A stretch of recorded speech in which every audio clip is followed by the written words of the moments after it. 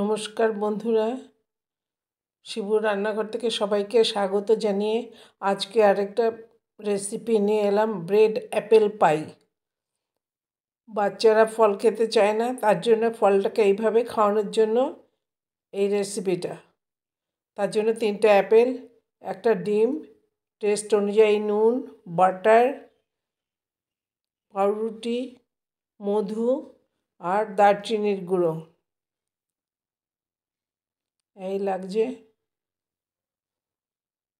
আমি অ্যাপেলগুলোর খোসা ছাড়িয়ে পরিষ্কার করে নিচ্ছি।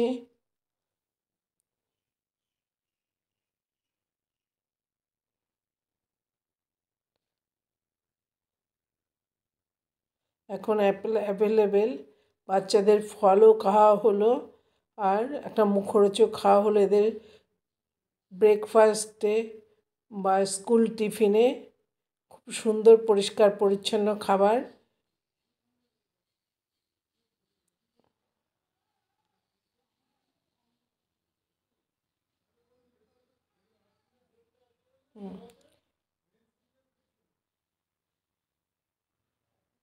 অ্যাপেলগুলো ধুয়ে পরিষ্কার করে, ছোট ছোট করে কেটে নিচ্ছি।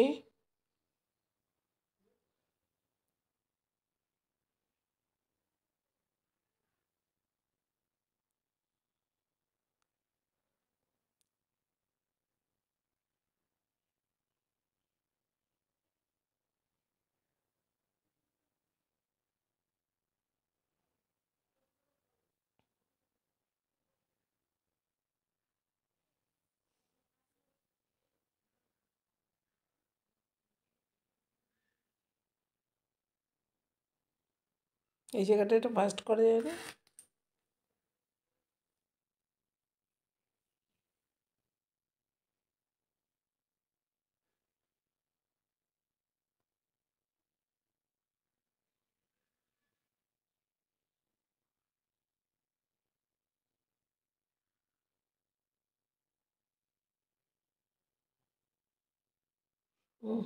এবার আপেলগুলোকে ছোট ছোট করে, টুকরো করে কেটে একটা আলাদা পাত্রে নিয়ে নিলাম।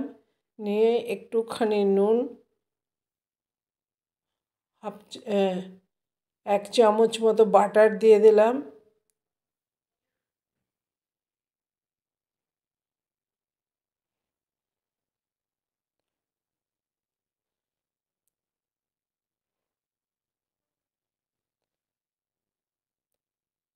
তারপরে এক চামচ মধু দিলাম। এবারে ভালো করে মিশিয়ে নিয়ে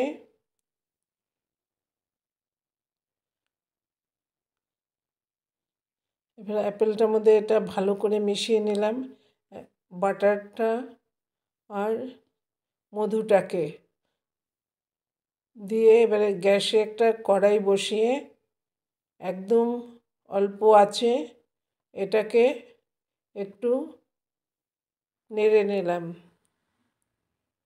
অ্যাপেলটা যেই নরম হয়ে আসবে, তখন নামিয়ে মিনিট পাঁচেক মতো নাড়িয়ে নিলাম।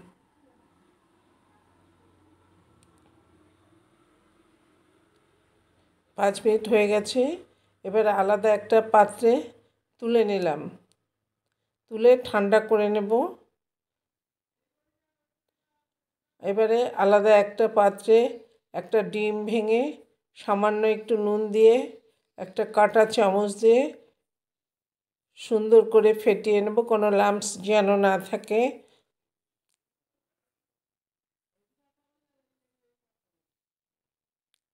এবার পাউরুটিগুলো বেলে সাইড কেটে নিয়ে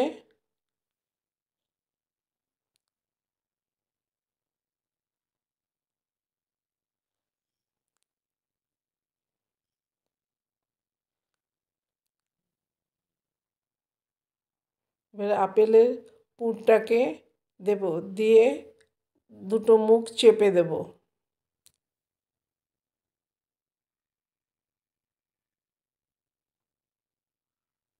এইভাবে একটা একটা করে হ্যাঁ আপেলের পুরটা ঠান্ডা হলে এক চামচ দারচিনি গুঁড়ো মিশিয়ে নিলাম।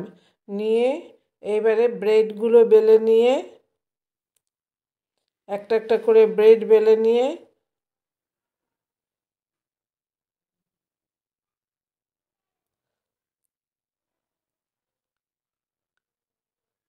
তার মধ্যে আপেলের পুরটা দিয়ে দিচ্ছি।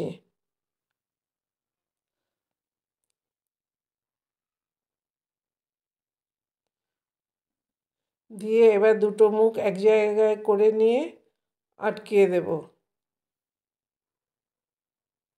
এভাবে সবগুলো করে নিলাম।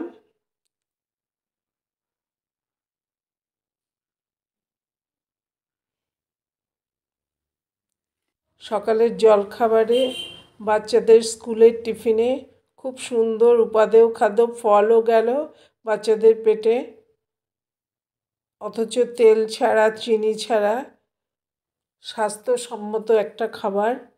এই করে করে নিলাম সবগুলোকে। নিয়ে এবারে